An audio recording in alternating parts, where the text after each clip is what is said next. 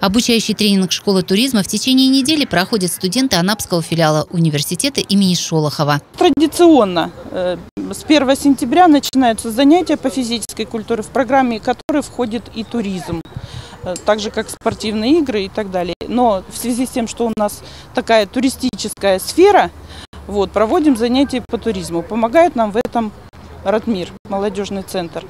Э, дни э, здоровья, так они у нас называются, проводятся целую неделю со всеми первокурсниками, второкурсниками и третьекурсниками. В университете имени Шолохова одна из самых сильных в городе туристических команд. В прошлом году ребята этого вуза занимали призовые места в студенческой спартакиаде по военно-прикладным видам спорта и на шестом открытом фестивале по туризму и скалолазанию. Так что могут передать знания новичкам-первокурсникам. Мы обучаем ребят э, основам э, спортивного туризма. Они проходят полосу препятствий, учатся, как одевать систему, как преодолевать препятствия в трудной ситуации. Эм.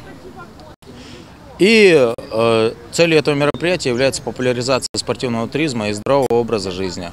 За неделю туристические трассы парка преодолели около 200 студентов университета имени Шолохова. Следующими на канатной дороге выйдут студенты РГСУ. Лариса Басова, Александр Кореневский, Анапа регион.